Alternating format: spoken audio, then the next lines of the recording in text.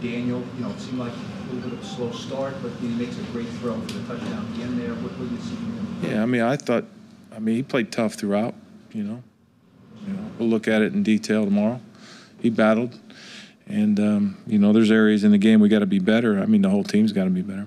What happened on the fourth and four, the one yard pass to Shepard? He, he got up, he seemed kind of confused or. No, he wasn't confused. I mean, it was a pick route against man coverage, and we picked him off, and um, you know, we didn't. Uh, I should say it was a pick route. It was a rub route, and uh, and uh, we rubbed him off, you know, and we just didn't get the distance we needed. I'm wasn't confused. I'm sure he's disappointed he didn't make the first down. Is that the kind of play I wouldn't call it confused. you're hoping to looking Huh? Well, I don't know. You you ask him.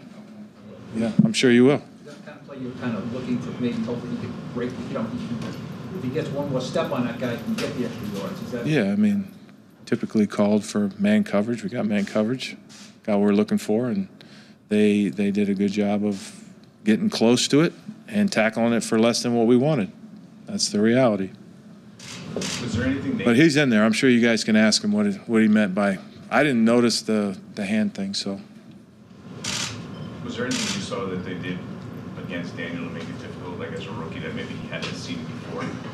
no, no. I mean, they're a very stout defense. We talked about that all week, and that's pretty obvious, right? So we have to do things, you know, in the game to protect them, and um, because they're good at pass rushing, you know, and uh, and we got to do more when we get closer. You know, we got to be scoring touchdowns instead of kicking field goals. Hey Giants fans, Saquon Barkley here. You want to see more videos? Subscribe below. Welcome to Giants Post Game Live presented by Mercedes Benz. What a finish! We had guys step up and, and make plays. We're going to hear from Pat Shurmur. He keeps passing the test. They had a sense of purpose. All hands on deck. We got a lot more to come here on the Giants Post Game Live.